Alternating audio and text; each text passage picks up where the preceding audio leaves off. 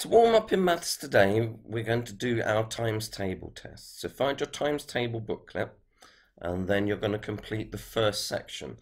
Pause the video and allow yourself the maximum of five minutes to complete the questions. When you have finished, get a coloured pencil, restart the video and you can mark your answers.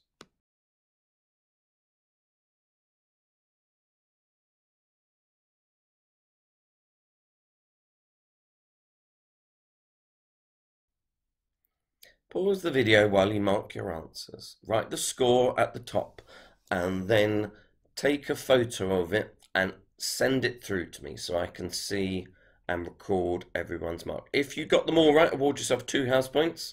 If you got one or more wrong, award yourself one house point.